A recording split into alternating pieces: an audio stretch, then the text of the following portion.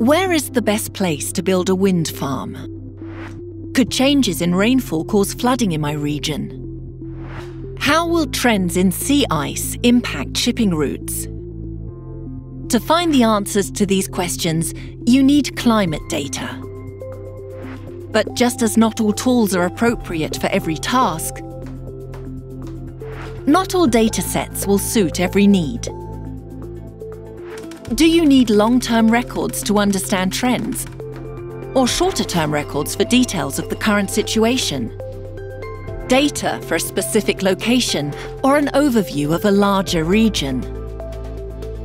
After considering questions like these, you also need to take into account other limitations of individual data sets. So how do you know you have the right data for you? The Copernicus Climate Change Service, or C3S, has created a user journey to help you. It starts with a detailed account of each dataset's strengths and weaknesses.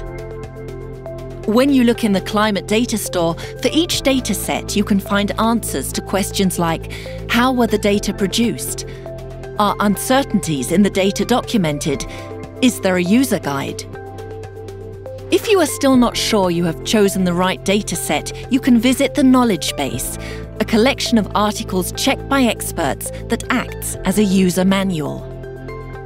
And if the knowledge base does not answer all your questions, you can learn from the experience of other data users in the forum.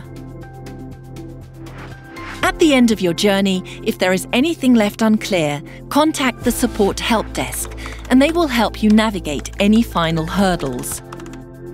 You can find answers every step of the way to make an informed choice about the data that best fit your needs.